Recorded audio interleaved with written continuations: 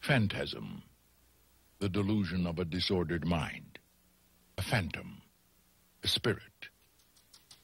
A ghost.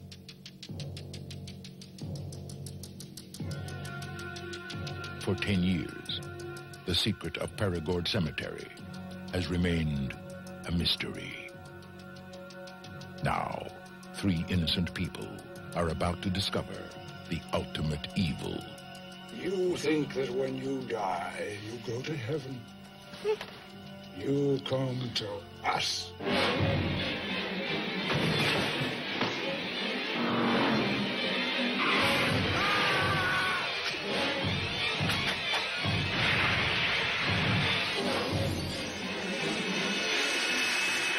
We've got to warn people.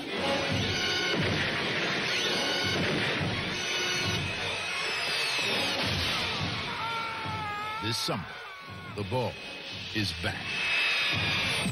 Phantasm 2. It's only a dream. It's a dream. No, it's not. Rated R.